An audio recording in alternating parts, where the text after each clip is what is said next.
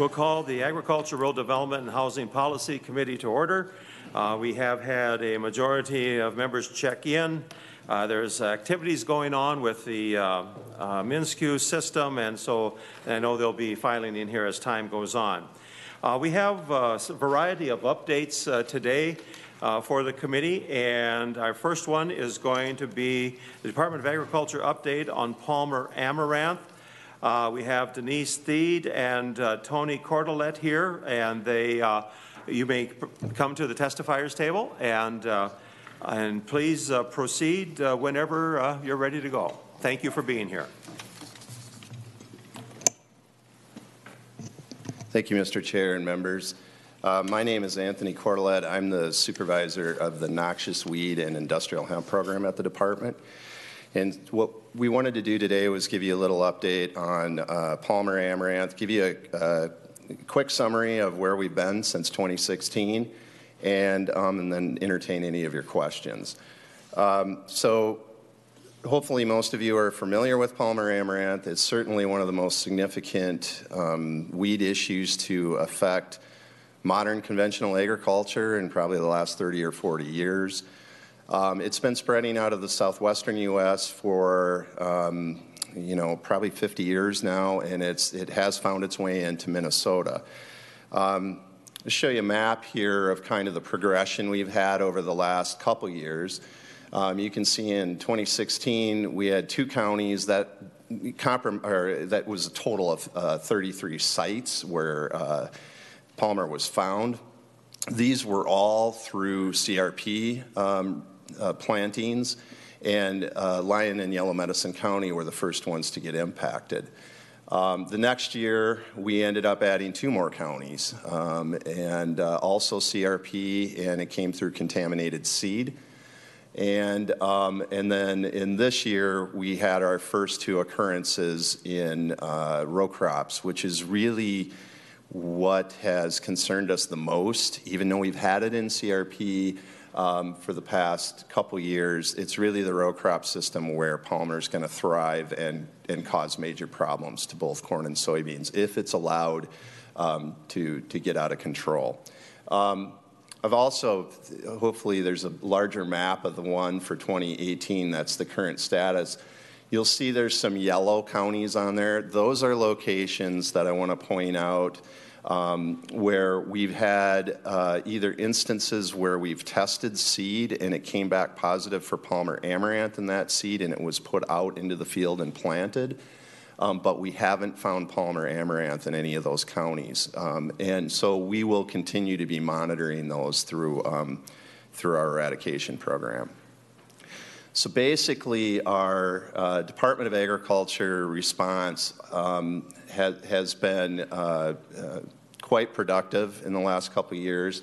We added Palmer amaranth to our noxious weed list in 2014 as a response to Palmer amaranth coming into Iowa. We knew at that point it was only a matter of time. Um, before it found its way up to Minnesota. The reason that's significant is um, we can add things fairly quickly now uh, through revisions to the weed law in 2009. And as many of you know, if something's not listed or regulated, it takes a lot of time to get folks behind it to do anything. Whereas we were able to hit the ground in 2016 within 24 hours of getting that first report of Palmer amaranth and to begin um, assessing the situation.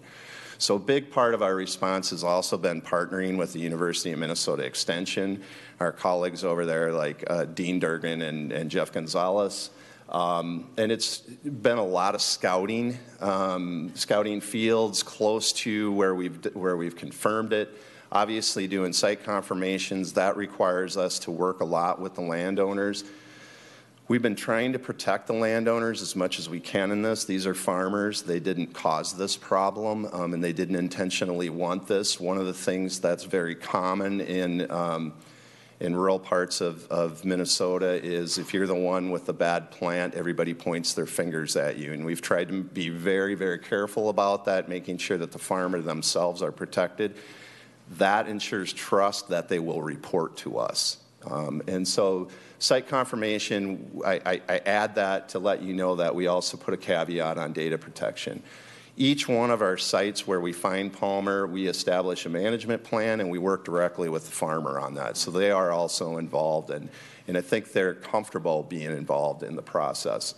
Um, a big part of this process has been educating all the stakeholders, whether it's you know the, the ag commodity groups, um, farmers themselves, crop consultants, um, any industry reps uh, that are out there, and letting them know what this issue is and, and what is actually happening with it.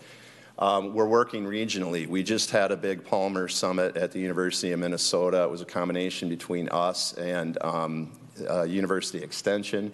We brought in all of our neighboring states. So we had folks from Wisconsin, Iowa, uh, North Dakota and South Dakota talking about Palmer. And by the way, Palmer is now in all of those states. North Dakota just found their first finds this year.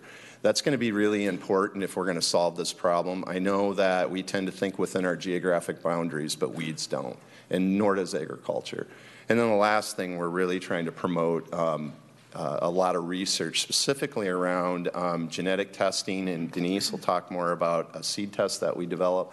But we're also hoping to find um, a researcher who can help us develop a field kit for identifying Palmer amaranth when it's small. It's very hard to tell Palmer from any of the other common pigweeds in Minnesota when they're seedlings, and that's when farmers need to be um, knowing when Palmer's out there so that they can manage appropriately. This slide's a little busy, but what I wanted to show you is since 2016, we've had a total of 18 landowners impacted with Palmer. Um, about 42 of these plantings have, have been CRP, um, and then the two soybean fields we found this year. I want to put this into perspective. Most of the counties you see on those maps are highlighted by color, and so the problem looks, uh, you know, really bad if you think, well, that whole county's infested. But to give you an example, in Redwood County, we found four plants, and we were able to eradicate those. In Jackson, it was one single female plant. And so um, although Palmer is making its way around Minnesota, it's at very low densities. That's good and bad. Um, that means that we got a better chance of control. It also means it's harder to find.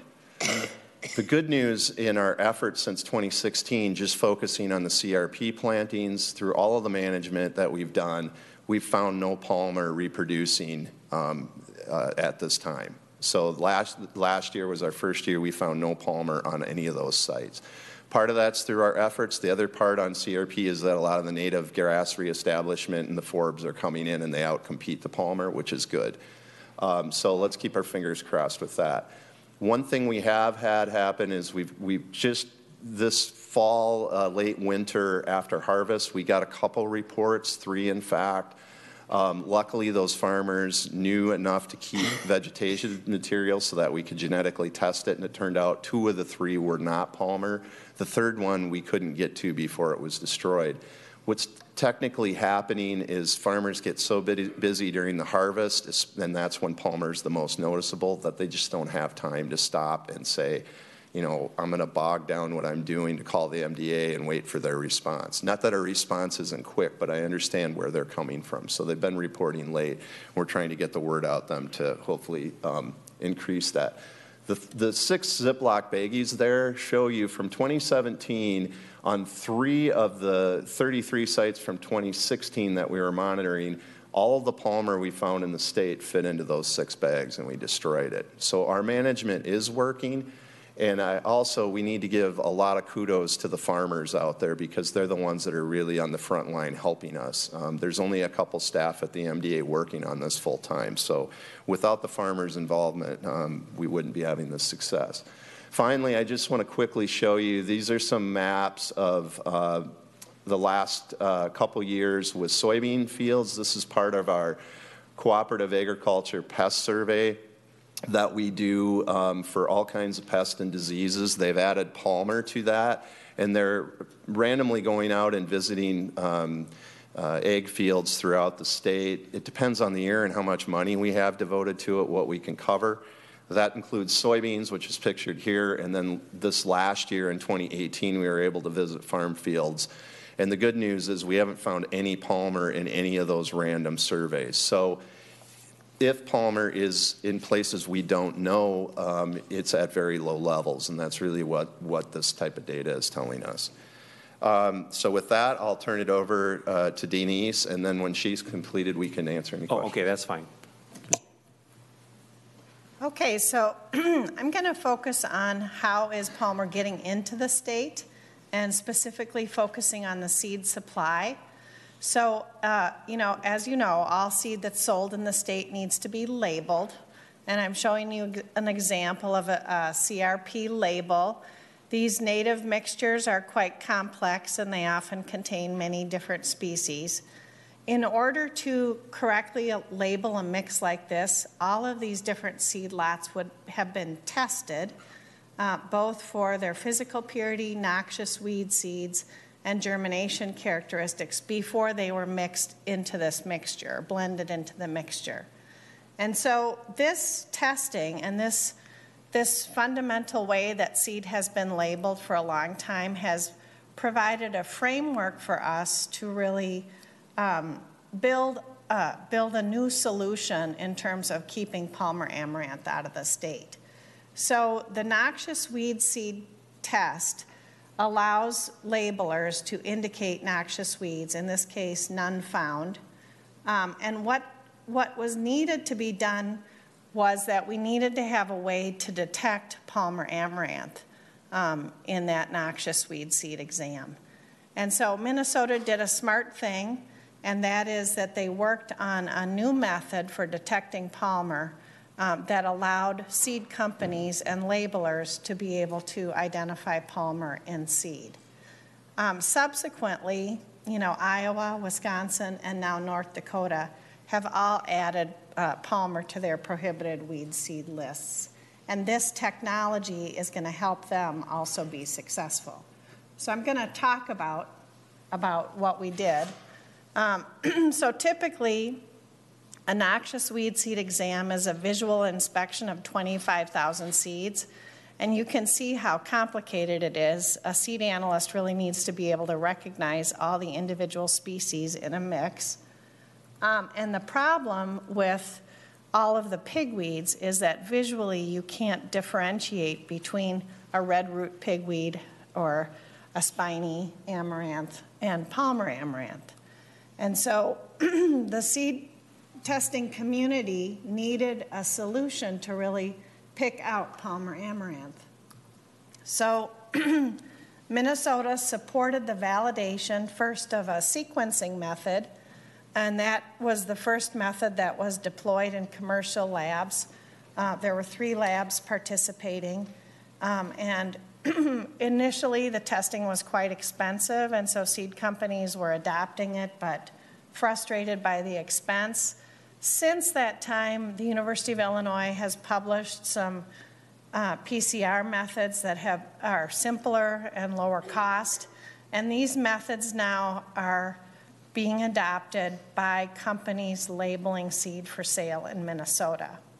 One of the challenges that we face in Minnesota is that there are testing labs across the country that test seed for labeling purposes not all testing labs are familiar with our requirements for genetic testing in Minnesota. And so, one of the things that we've done is we have updated the All States Noxious Weed Seed List, which is maintained by the USDA, and to indicate that in Minnesota we do require genetic testing. So, if we are going to go in and audit a seed company's records, and there was amaranth in a specific seed lot, we would expect to see genetic testing results for that seed.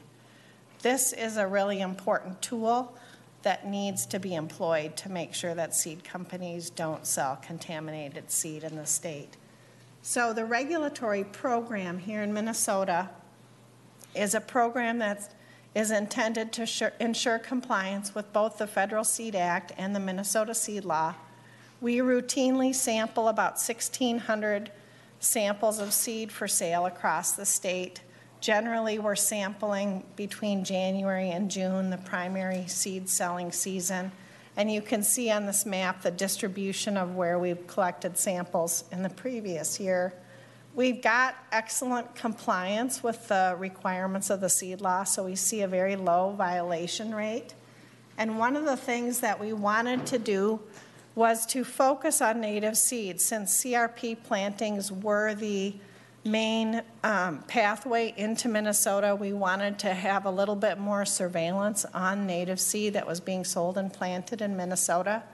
So in 2017 and 2018, we increased our number of native seed samples up into the 80 to 140 range. In 2017, we did not detect any any seed lots with Palmer amaranth as a contaminant in the random sampling that we did. But in 2018, we did identify three seed lots that were contaminated. So this is an important mechanism to assess how seed companies are doing in terms of compliance with the seed law. And obviously, enforcement is an important mechanism to make sure that they uh, do their due diligence in labeling and selling seed in Minnesota. So I wanted to follow up. Tony presented where, you know, uh, these introductions and, uh, and their occurrence in Minnesota. And I just wanted to give a brief overview on the current status of the enforcement. So in 2016, in Lyon and Yellow Medicine counties, we were able to confirm the presence of Palmer in the seed mix that was planted on those 33 locations. However, the labeler did not have the records that were required by law, by the Minnesota seed law.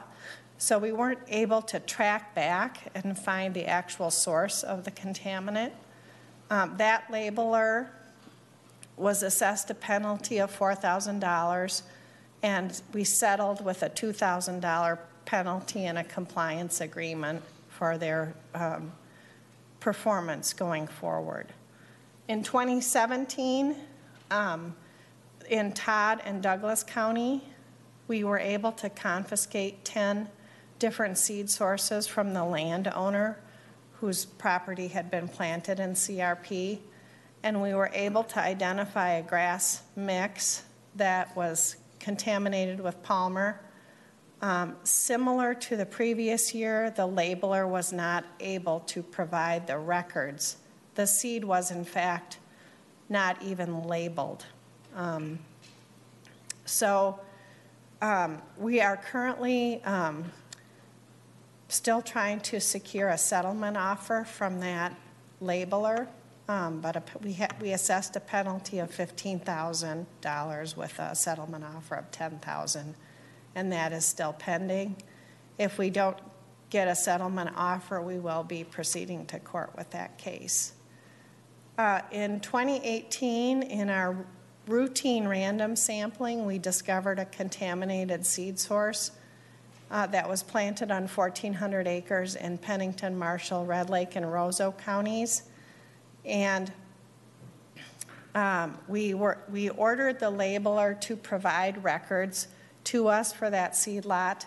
Similar to previous cases, um, the, the records, the, well, the seed labeler appealed the order to provide records. So this case is currently in the Attorney General's office um, where we're trying to negotiate a settlement. Uh, the initial penalty was 18000 with an offer to settle for $10,000.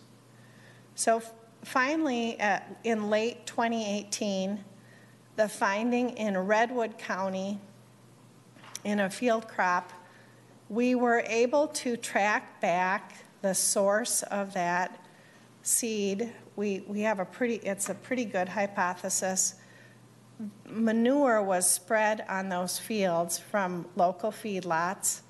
We went to those feedlots and sampled sunflower hulls that were being fed in those feedlots, and we were able to detect Palmer amaranth in those sunflower hulls. So the screenings from seed and grain cleaning may also be an important new pathway into Minnesota with the potential to be moving um, through the feed supply. And that's something that uh, we're going to be looking at much more closely um, based on our authority with the Minnesota Screenings Act. So that's our summary of Palmer. Very good, very good. Thank you so much. Um, Just a couple of questions I have. Uh, First, as relating to finding it in the right-of-way, has the department been sharing information like with uh, count- the county association and MnDOT as to this issue and what they should be looking out for? Yes, Chair Weber and members, uh, yes, we have. And, and one of the first things that we do in a county where it does get, an infestation occurs is work with the county ag inspector, which is sort of coordinating all the township and city work from there and also working with MnDOT. Um, we have worked with MnDOT too to provide them sort of a radius, not the exact location, but a, a kind of radius around the areas that would impact their state highway system so that they can monitor those areas too. Okay.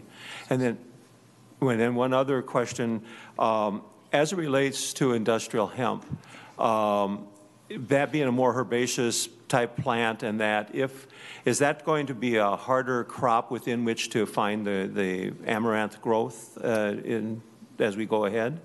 Yes, Chair member, Chair Weber and members, um, I don't think, uh, so hemp probably won't, um, or, or the way grain hemp is grown at least on large fields, uh, Palmer probably won't be able to compete as well. I, I can't say that for sure because hemp is just starting to grow. Um, it certainly could be an issue, um, but I would think it would be more in washout areas and things like that in the fields. But hemp is traditionally drilled fairly close together. But it's kind of, it is also, you're, you make a good point. It's, it's, the farmers are trying to find their way with it. So if they use wider row spacings, it could potentially be an Okay. issue. Very good, Thank you. Senator Isaacson. Thank you, uh, Mr. Chair. Uh, Sorry, Senator Lang is distracting me. Uh, Here's, here's the uh, question. I'm uh, uh, still kind of new and learning a lot about this, and what I want to understand is, um, the, approaching it through the seeds is, clearly makes sense to me.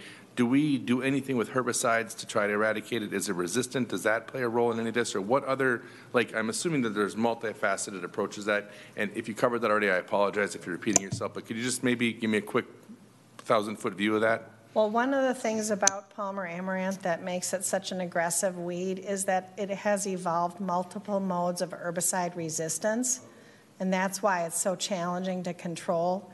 The plants that we found in Redwood County were glyphosate tolerant, um, and every time we test um, a plant in a county, we're not only testing to make sure it's Palmer, but we're testing to determine whether it's resistant to specific herbicides. So that's something that, that we're going to be tracking. There are herbicides, though, that you can use to control it, and the U of M Extension folks have done some good work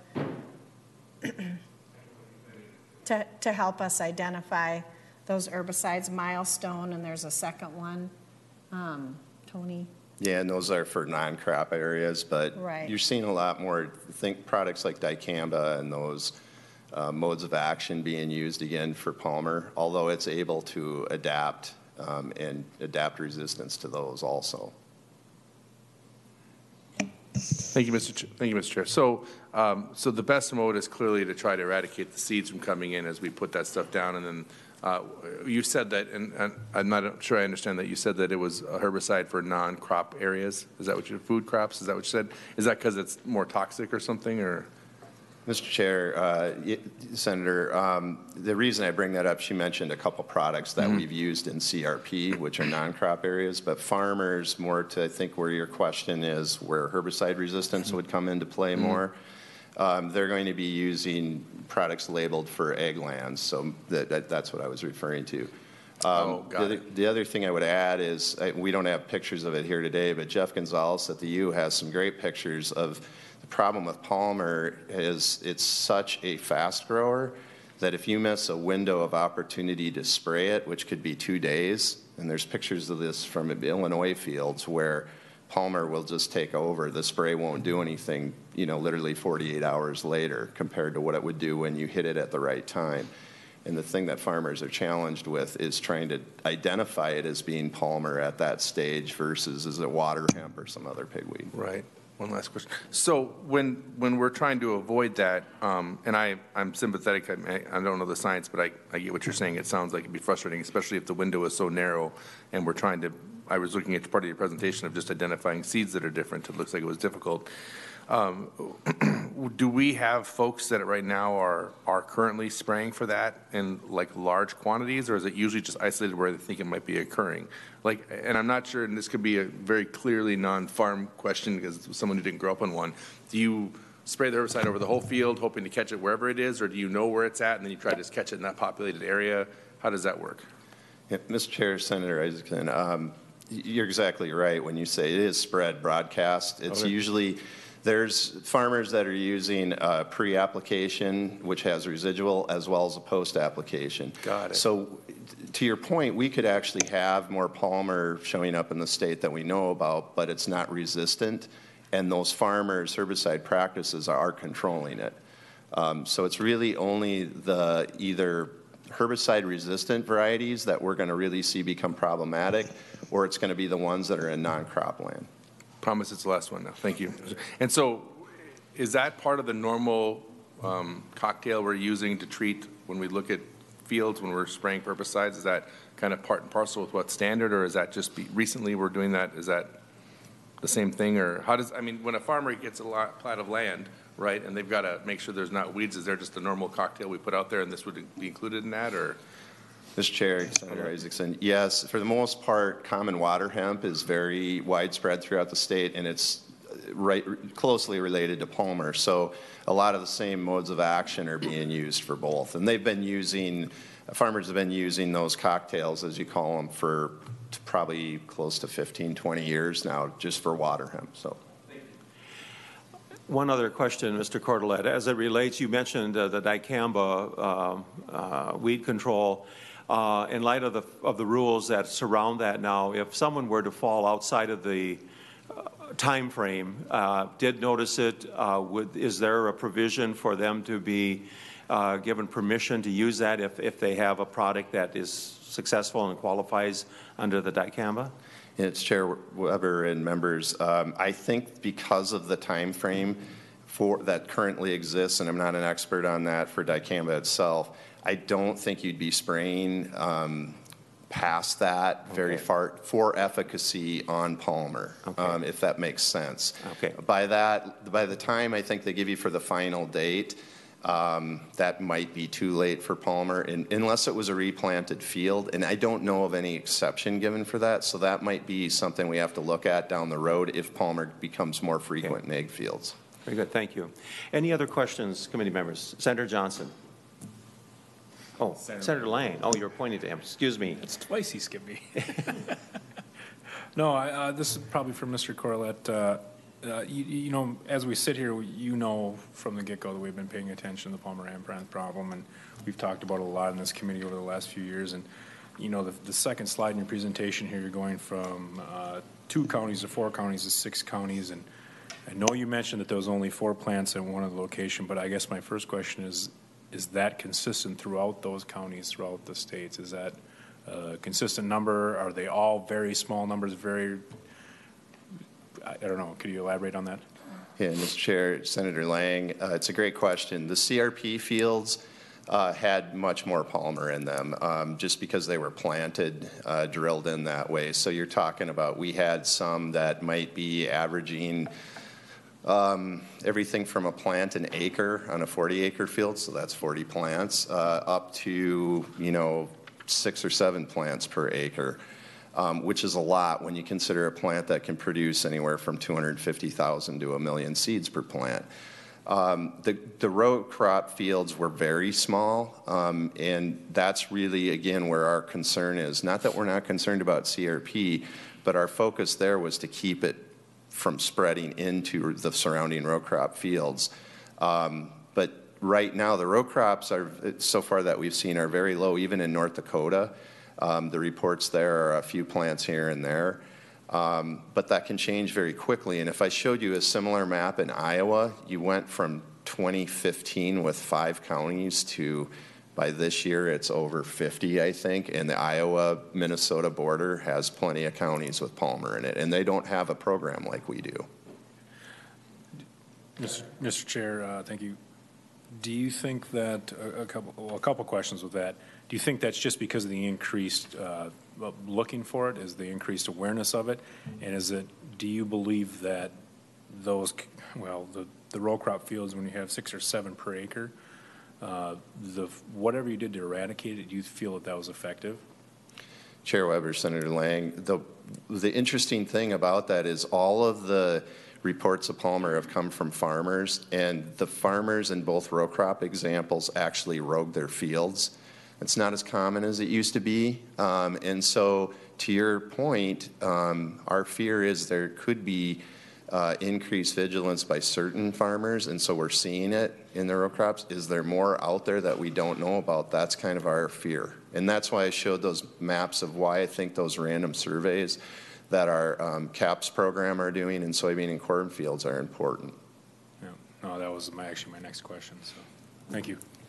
Senator Johnson. Thank you, Mr. Chair.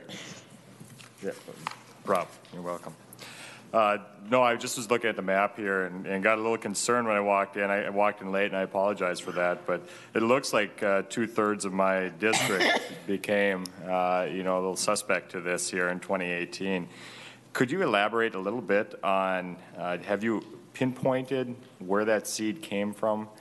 uh, and been able to do that? Or is there a connection between those four counties uh, where that was found? That would be the four counties in northwestern Minnesota. Yes, I'm sorry, I'm sorry. So it, this is an active investigation, um, and so I can't give a lot of details. You know, it's, it's still an open case. Uh, the seed was sold in one of those counties to CRP um, landowners in all four counties. It was all planted in 2017. We discovered remnants of that seed in 2018. And um, now we're in the process of, um, well, we haven't gotten the records for that seed, that seed mixture, so we can't track where else it might have been sold in Minnesota. Okay. But we did not find it in the field. So it was in the seed, but it never germinated and developed. Mr. Chair. So that was a single point or a single source where that came from? Okay. And then one, one final question then. Does 30 below zero, does that help kill any of this? Because maybe we don't have to worry about this problem anymore. Well, Mr. Chair, Senator Johnson, that's a great question. And and in fact, um, we do, there is a theory um, from our Iowa partners in Wisconsin that although we know Palmer can establish here and it can reproduce and grow, will it do the same thing it did in Arkansas, Missouri, um, and, and uh, the states in the, in the southeast? Um, I don't really have an opinion on that yet, but it does relate to your question about cold tolerance of the seed and how cold hardy it is. I do think there's something going on where we're seeing a slower rate of spread than what we would have seen if we were in, let's say, Missouri or southern Iowa. So. Anyone else? If not, thank you for the presentation. We appreciate it, and uh, we'll look forward to uh, future information. Next, uh, we have uh, um, Angie Amborn uh, with the MDA, and this is going to be an update on the emerald ash borer, and she might have better results concerning the cold weather for us. Okay. Thanks, Mr. Chair. Ah, that was a great segue. Thank you. so today is not a good day to be an emerald ash borer. All right, so well, let's start back here so you can see um, what an emerald ash borer is. So I'm sure most of you are familiar with emerald ash borer, um, but I'll just give you a quick, brief, um, you know, 1,000 foot view of it. Um, emerald ash borer is a wood boring beetle that attacks all species of ash. Uh, true ash. Um, it's from China, and it was first found in Minnesota in 2009. Since um, it was found in the U.S., emerald ash borer has killed millions of ash trees. Um, and it's probably on target if you talk to a lot of researchers to functionally remove ash from um, from the system. And as we know it, um, ash provides a lot of ecological and economic benefits. And just in perspective, um, Minnesota alone has close to a billion ash trees. So you can see that um, that's a large part of our natural resources. Excuse me, uh, Senator Hawj? Yeah, uh, sorry, Yes. I, I Did, did you say feng shui? Huh? removed? Did you say No, feng shui? functionally. Oh, okay. All right. Just thought I'd check on that. No. All right, now I'm, now I'm Please up. proceed. All right. So um, yes. this is this is a map for those of you that aren't familiar with where emerald ash borer is um, in the in the country. It's pretty much spread through the eastern half of um, part of the United States, um, and then it's slowly making its way westward. One of the reasons I like this map is because, as you can see on that western edge there, you can see how it's just you know slowly moving its way west into Oklahoma, Kansas, Nebraska, South Dakota. Um, and so those, it's, it, it is moving, um, and one of the primary ways that it moves is through, um, through human mediated movement and traditionally through firewood. It does spread on its, on its own a little ways every year, but the primary movement of spread is through humans. Um, and so that, that's the country. In the state itself, right now, EAB has been documented in 17 of our 87 counties, um, and we've also found it in 68 of our 853 cities. The most recent find was in Wright County, and that was in um, September, and so um, that county has um, since been quarantined. So you can see up there, um, this is our online map, just for those of you that are not familiar with it. Um, the red lines on this map show you where the EAB quarantine currently is.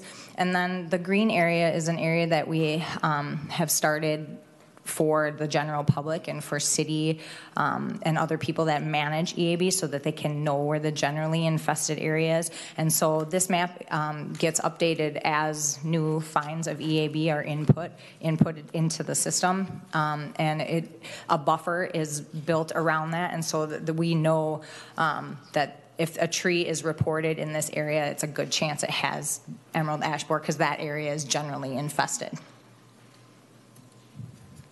Um, so the two main programs that we have um, with the Minnesota Department of Agriculture in how we work specifically with emerald ash borer is we do biological control, and then we also work with outreach to cities.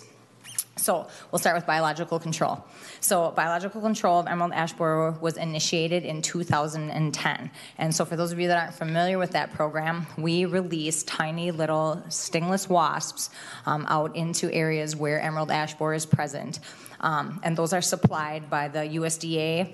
Um, there's a rearing facility in Brighton, Michigan. And so we go out to a site, we assess where emerald ash borer is, and then we get those parasitoids and we go out into um, the woods and we actually release them.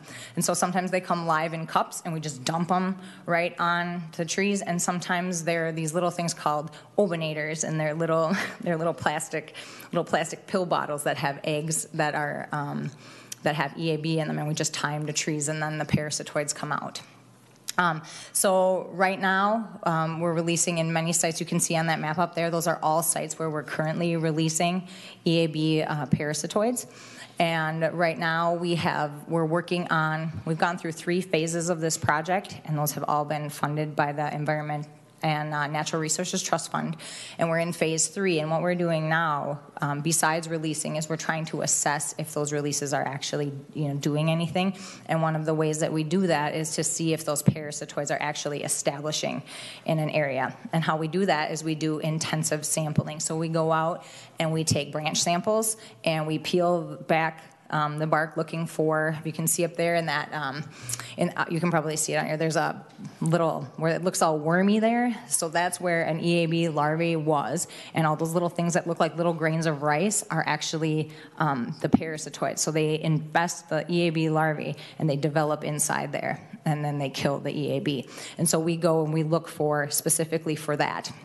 The other thing that we do is we peel bark and we go out and we peel bark samples off of trees and then we sift them. And then as denise showed you we were looking through those all those tiny little seeds we look through all these tiny little pieces of bark flecks and we look to find emerald ash borer eggs. And also on that screen you can see there's an egg there that with an eab um, or an eab egg there and inside of that egg is the parasitoid that is growing. So those are the um, two of the ways that we're assessing um, what's going on with the eab parasitoids So Just to make sure I understand, so basically the wasp attacks the, the bug, and then the, what it injects into the bug actually goes into the egg and that, and to kill it in that manner, is that it? Um, Yes, Mr. Chair. So what happens is we have a couple different kinds of parasitoids. So we have one parasitoid that actually injects its eggs into the EAB larvae and actually eat- kind of develops inside the larvae and kind of eats its way out, and the, the little parasitoids come out. And then there's also another one that it, it lays its eggs inside of emerald ash borer eggs. And so then they, they come out. So they're very tiny, like the size of the head of a pin, um, and they're very good at finding EAB larvae and eggs.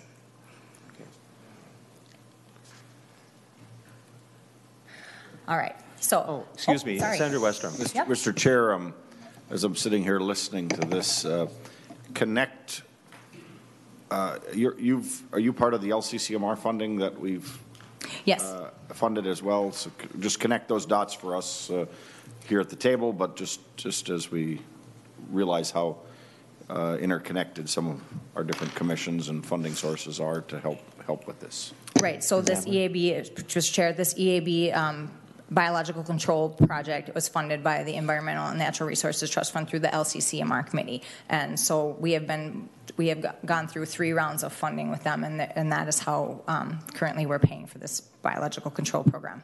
Does that answer your question, Senator Westrom? Okay. Okay. Thank you. Thank you. Senator Isaacson? So once they take out the worm and the, what happens to them next? What are they doing? Are they just going on to be wasps or what? I mean, I'm. No, that's a great I missed question. something, But I'm like, once you've killed the parasite, what then happens to whatever's left over that's still alive and the, whatever killed it? Okay, so you mean when the parasitoids come out of the larvae? Okay, so then they're going to come out and they're going to seek out new new larvae. So they're they're coming out, they're going to find new larvae and new eggs.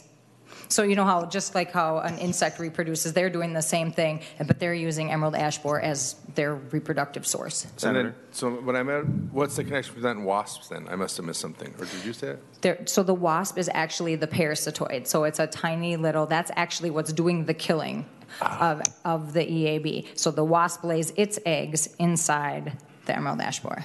It's it's very alien like. Like yeah. Uh, Senator Hawj?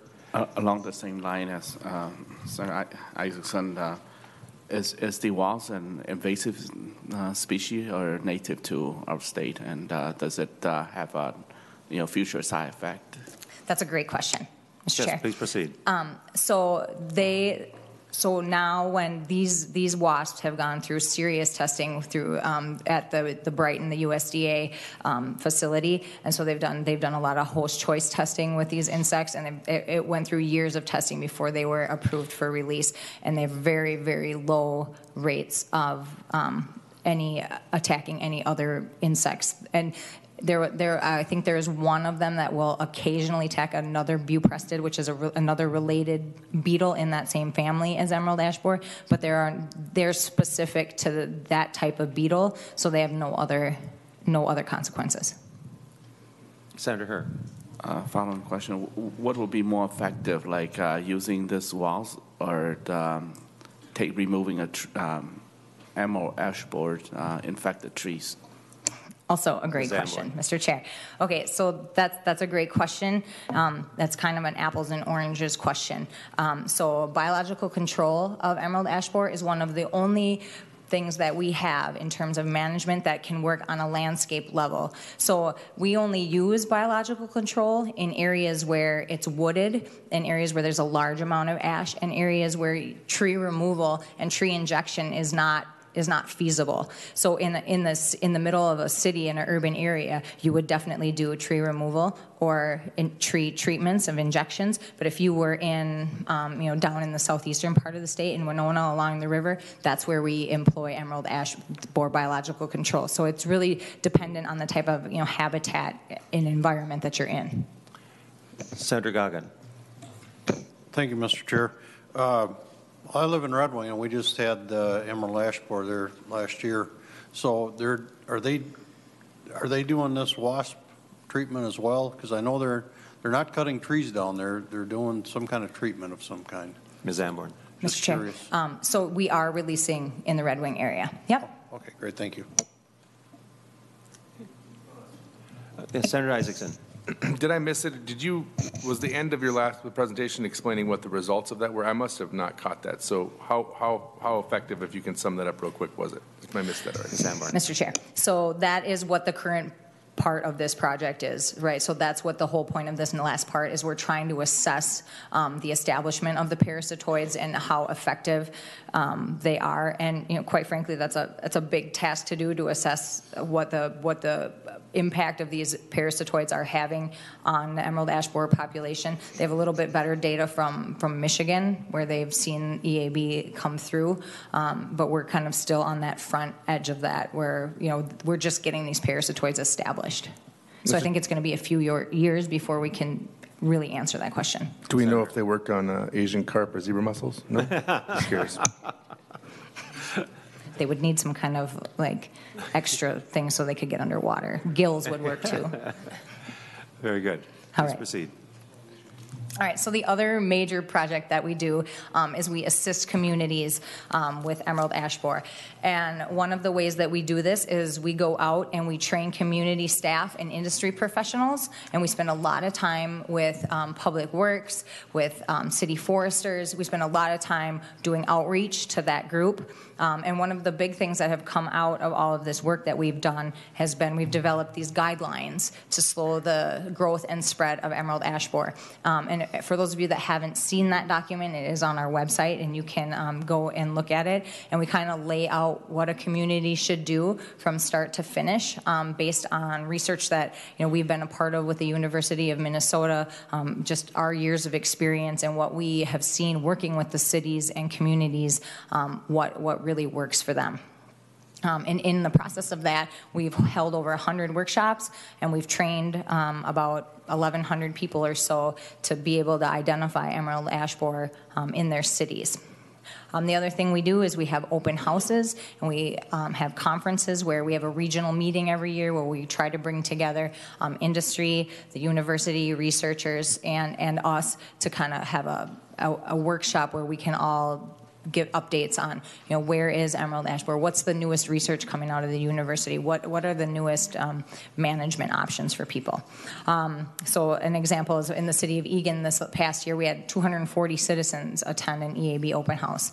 Um, and a lot of this um, this work is funded through the usda forest service. So we've gotten um, grants to do that uh, the other big part of that is our outreach for not moving firewood. As I said earlier, one of the main ways that emerald ash borer moves is through the movement of firewood.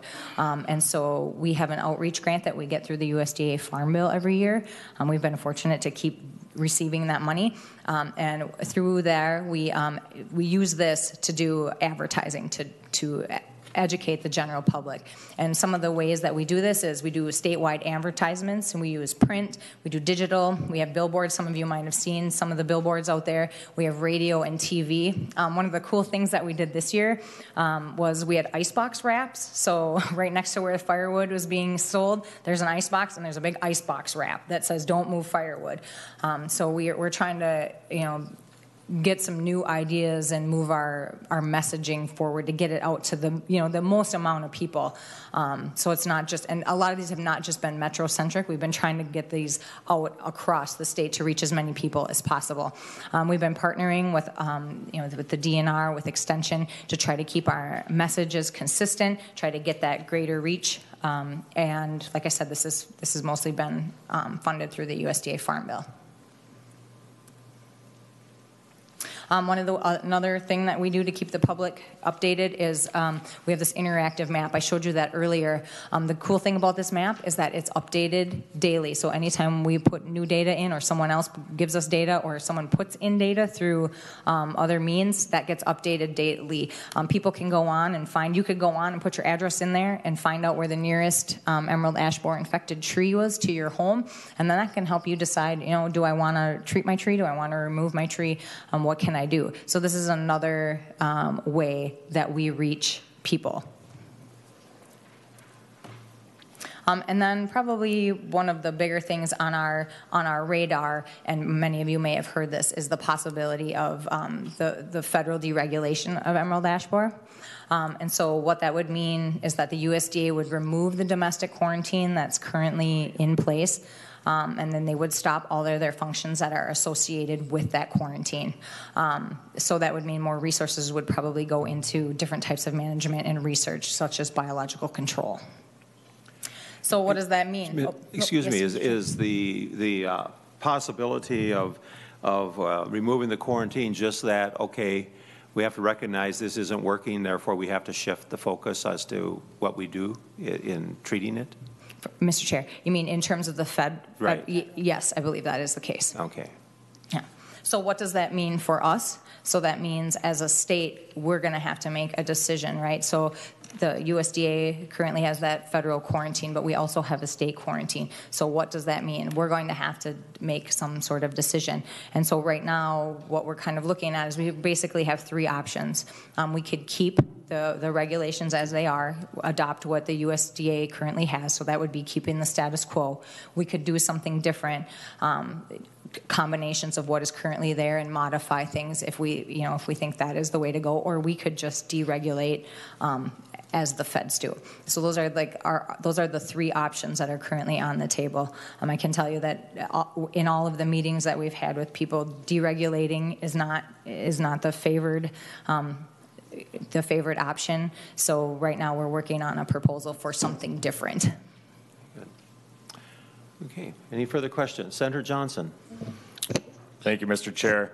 Uh, Ms. Amborn, uh, so back to the segue then. Would you talk a little bit about temperature and, and how that might be affecting?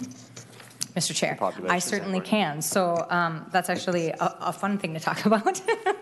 um, so emerald ash borer freezes at uh, at minus 29, and so right now we're at minus 37. So um, that that takes us that that temperature takes us into the um, realm of, of 90% mortality. Back, if you remember back in um, 2014, 2013, they documented at like minus 24, they documented about 60 to 70% mortality. So this, this cold weather definitely is going to kill some emerald ash borer. And I would assume in a couple weeks here, after it warms up, I'll send out some people and we'll, we'll go see if we can find some blackened larvae and, you know, maybe do a little assessment of what the, the actual cold did. Ms. Amborn, thinking about that, uh, obviously, we would anticipate a slowdown, um, but, you know, how much time do you think it would take for that to, for the reacclimation and the infestation to move in from other areas again? Mr. Chair, that's a great question. So w- when when you think about insects, you know they they're just like reproducing. It's it's mania, and so a ninety percent you know kill is gonna is gonna do a good thing for a year, right? But then if we go into next year and it, we don't get those temperatures, I mean it's gonna knock it back and slow it down, but it's it, it isn't going to be enough to um, you know to to completely eradicate it. So, I mean, the cold weather definitely plays in our favor and has probably played a role in, um, you know, one of the reasons the spread has been so slow through Minnesota. Um, but in terms of at, at the end all be all, the, the weather's not going to do it. Okay. Very good. Any other questions? If not, thank you so much for the update. We appreciate it. Yeah, thank you. Next, we're going to turn to the update on the gypsy moth. We have Kimberly Thielen Cremers, who, uh, with, again with the MDA, who will talk to us about that particular pest. Wonderful. Oh, is this mic on? Yeah, yes, yes. Wonderful. Thank you, uh, Mr. Chair and members of the committee. Thank you for allowing me to come and speak about gypsy moth and a little bit uh, update on where the status is here in Minnesota. I'll talk a little bit about it nationally, um, and then really focus on our goals here uh, this past year, some of the summaries from this past season, as well as looking forward into 2019. Gypsy moth is one of those pests that have we've been monitoring for 30 plus years since the uh, early 70s here in the state of Minnesota. So it's a long-standing um, forest invasive pest that we've been watching and monitoring and trying to uh, keep out of Minnesota for as long as possible due to the uh, damage that it does to both our forest and our urban environments. Gypsy moth is, a, is an invasive uh, forest pest that was introduced from Europe uh, some uh, 100 plus years ago, back in the 1800s into Medford, Massachusetts. It is probably prior to EAB introductions in the early 2000s, gypsy moth was the most damaging pest in the U.S. Um, emerald ash borer has kind of taken that fame now, killing uh, millions and billions of ash trees across our country. But gypsy moth still is a damaging pest, defoliating over 450,000 acres on average across the U.S., in particular areas of where it's uh, established and, and, outbreaks are occurring. Gypsy moth, as like emerald ash borer, um, is a federally regulated pest. So a lot of the regulations in which uh, come down from USDA, the Minnesota Department of Agriculture also uh, coordinates that as well and partners with the, the federal agency to assure those regulations are followed within the state of Minnesota as well.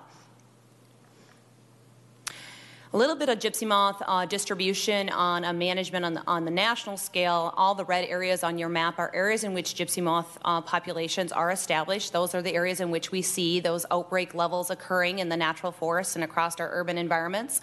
Um, however, gypsy moth is only established in one third its geographical range within the U.S. So we are basically protecting the other two thirds of both the U.S. and, as you can see, majority of Minnesota um, is yet to be established with this pest. So um, it is one that we have uh, significant concerns with, with the, in both the environmental, human impacts that this uh, pest will have. As you can imagine, having millions and uh, caterpillars crawling around uh, on the 4th of July when you want to be out camping in your favorite park or having your cocktail, um, you know, in your, in your, it's a, a pest that will, will be um, a human nuisance as well. Throughout the nation, we do we follow the same model. A, there's a national um, program for gypsy moth management across the U.S. You look at either if you do suppression in where it's um, in areas establishment, basically they're suppressing populations where outbreaks are occurring. So there's uh, that's very limited management. It ends up being local residents, communities, townships um, is what focuses that management. Uh, there is a, a, program called Slow the Spread, and I'll talk about that in, in a moment. But that's the a program out in advance of the front of gypsy moth to basically slow its advancement westward. And then anywhere out to the to the west of the area is eradication, where if we do find established populations, we go in and eradicate this pest 100%. Uh, similarly to, to emerald ash borer, um, probably even less, is gypsy moth's natural movement is very limited. So that's why you're going, it's been established since the 1800s. Why hasn't it moved into Minnesota? It's taking 150 plus uh, years to get here. It's for the fact that its movement nationally or naturally is only about um, five miles per year. It's pretty limited, and it's simply due to the, the small larval ballooning. The females and uh, female moths cannot fly. The artificial movement, it's the human assisted movement that allows this movement um, into areas of uninfestation. That's what kind of escalates that movement is all the human uh, transport of, of, products that may have gypsy moth uh, in egg masses or life stages on them. This is the map you can see when I talk about the Slow the Spread pushing into Minnesota. So we um, in Minnesota are looking at two forms of management. We are looking at both establishment, where there's established populations in our northeastern Minnesota and Cook and Lake counties, and then where the advancing front is pushing into Minnesota in the southeast portion of our state um, into the St. Louis County area. So we do have this advancing population. So we're getting more and more um, isolated populations. I compare it to a forest fire where you're seeing these sparks out in advance that front. Um, we are looking for those sparks to slow that spread. And then anywhere uh, to the west in Minnesota is where we want to eliminate those populations 100%. Minnesota is very fortunate to be a part of a national program called Slow the Spread. This is a really unique model uh, program for pest management. It's a barrier zone concept in which we are a part of a nonprofit uh, foundation, which 11 states cooperatively work together to set uh, standards for both survey, treatment, management um, cohesively. So it's a really unique project. It is funded through the USDA Forest Service, um, in which Minnesota is a, is a partner of that. The goal of this program is to slow or reduce spread by over by at least 60%. And since the introduction of the program, Minnesota joined the project in 2004. Um, we've been able to slow as a national spread model um, just almost up to 70%. So it's exceeded that 60% goal. Um, so it's been extremely effective in in the goals in which we are, are, are reaching. We have basically protected more than 150 million acres uh, within that time frame um, since that establishment of this particular program. Minnesota greatly benefits from the Slow the Spread project, both indirectly um, and directly. Um, since 2004, we've received about $13 million in benefit, um, in which maybe the Forest Service has come in and done aerial applications for us. It's been direct um, payments, through, or we they offer assistance through for our surveys and detections. Um, in 2000, and that should be excuse me for the typo there. 2018, Minnesota benefit over $1 million from this program alone. This is the map just to show you how that is pushing in in areas in which we, we work. It's similar to the one a couple of slides ago. Um, you can see where ma- majority of our work within the state of Minnesota is in that eastern half of Minnesota in which we do a lot of our survey detections. And how we um, and there's a zoom up from Minnesota. Um, you can see the Cook and Lake counties in which quarantine. Um, those are established populations, um, and basically we do we still do some surveys and monitoring there, but we won't do a lot of intensive of treatments or eradication projects within that area because basically it it's you know it becomes ineffective at that point. We really, um, our goal is early detection surveys. So um, I brought kind of, you may have seen these. We placed 20,000 of these early detection traps across the state of Minnesota, focusing on that eastern uh, edge of Minnesota in which the population is moving in. Um, last year, in 2018, we captured 438 male moths within these detection traps. That only gives us an indication about population thresholds and if it's potential that there are populations there. It does not mean established So just because we have one or two moths does not mean establishment. Uh, they just give us early indication of potential population uh, pressure coming in.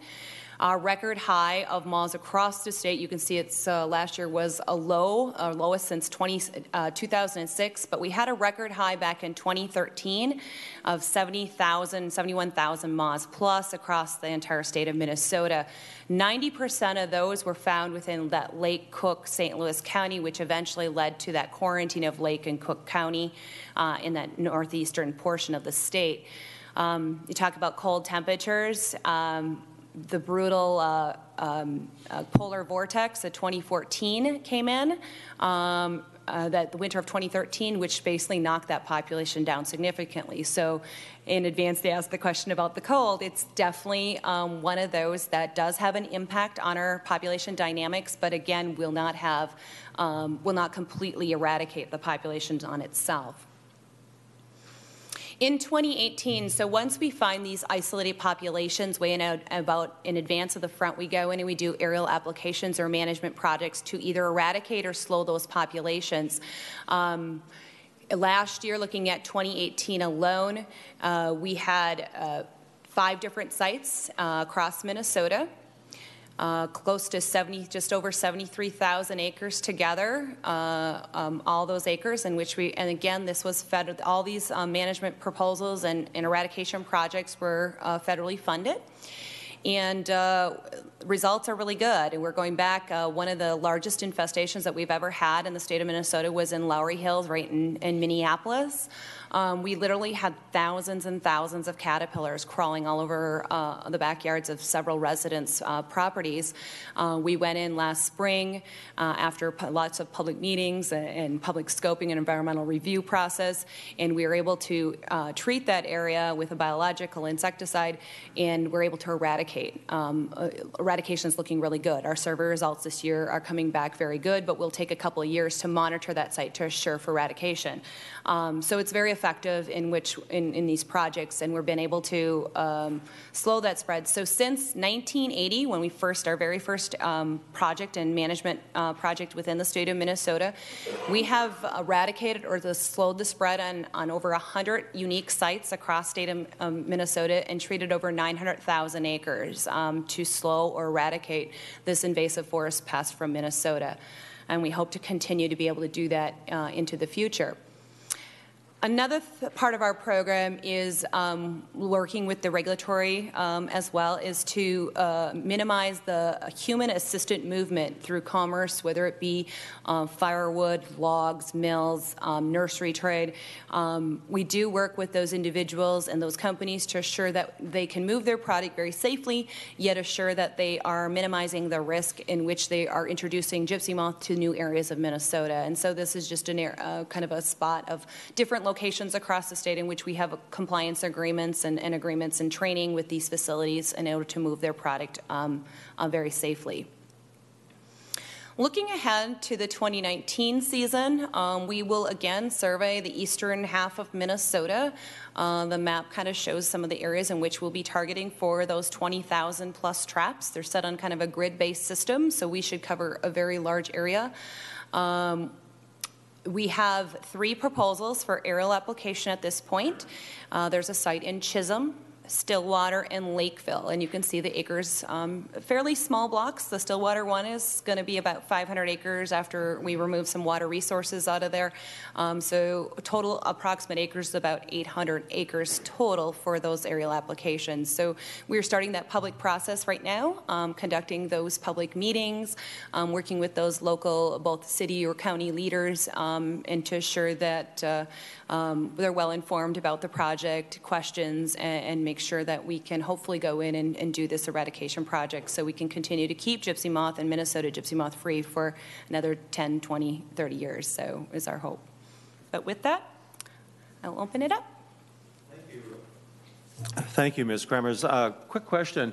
Do they have any preferred tree that they like to eat, or are they pretty much just general opportunists and eat there, whatever they want? Yes, thank you, uh, Mr. Chair. It has a gypsy moth can feed on over 300 species of trees and shrubs, and that's why they're so devastating and damaging, and they can get a foothold pretty quickly. So they don't need just a single tree. They really don't care, and at some points, we'll even see them feeding on even some of their less preferred. So, example is um, Colorado blue spruce, so some of the spruce trees. They'll feed on white pine fine, um, but you know if a white pine gets the leaves eaten off, it's, it's going to die. Where a deciduous tree can relief, so it stresses the tree. Um, we gypsy moth isn't necessarily the killer of the tree. It will stress the tree to the point where other diseases and insects can move in. But it has this very, very wide host range. The other thing it so damages is a single egg mass. A female will will lay one single egg mass in her lifetime, but that egg mass contained between 500 and 1,000 little viable caterpillars. So it doesn't take very many egg masses to get these established populations. And for example, in the Chisholm site, we only found, you know, five or six, what we could find, you know, there it's a needle in the haystack, but five or six egg masses, well, you keep multiplying that pretty quickly and it escalates pretty fast. Any other questions, committee members? Senator Goggin. Uh, thank you, Mr. Chair. Uh, just in regards to the aerial, aerial application, yes. Uh, what type of herbicide or uh, foliant are you using? Wonderful. Uh, Mr. Chair, Senator Goggin, we actually we work with two specific products is what we actually target for these particular projects and it really has to do with the threshold of the biology of the site in the population um, two of the most significant ones is um, Bacillus thuringiensis kurstaki, which is BTK. It's an organic um, certified product that uh, most people use in their organic gardening up to the date of harvest. So um, it's specific to moth and butterfly caterpillars only. So that's the one that we, we use pretty commonly in these high density populations. And the other one is a mating disruption, which is pretty unique. It's extremely specific. It's literally using the female pheromone and we apply it through a waxy substance, or it could be a, little tiny um, a flake kind of product is the carrier, but it's literally the female pheromone, and we scatter it amongst out when the males are out mating, and they're looking around trying to find the female in which to mate, and ultimately they can't find her, and mating doesn't happen, and then we actually eradicate the population. So it's extremely unique.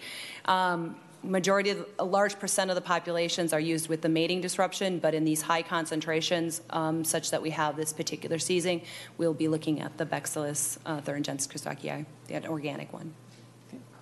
Anything else? If not, thank you very much for your presentation. Thank you, all of you from uh, the department, for the information that you have given us today. Before we leave, uh, I should turn to Senator Isaacson. Would you like to introduce your chief aide and chaperone that you have with you? This is actually my enforcer for my fundraising purposes. I This is see. my, my son Ivor, who my wife decided to, not that it was a high bar, but dress nicer than me. Yeah. And so, and then he left for a little while, came back, and he actually had a pin that I had to run for, and apparently they just hand them out now. Yeah, So well, that's awesome. So thank you. yeah. Very good. Well, welcome, Ivor. We're glad to Ivor, have can you you here. say hi? Hi. There we go. Uh, Senator Westrom?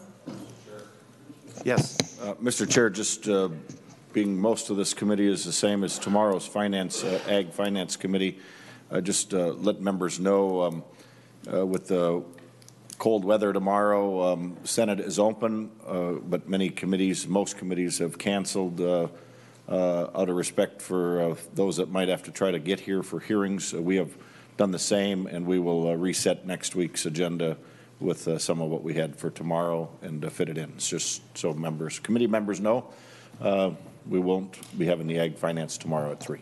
Okay, very good. Thank you. And with that, the committee stands adjourned.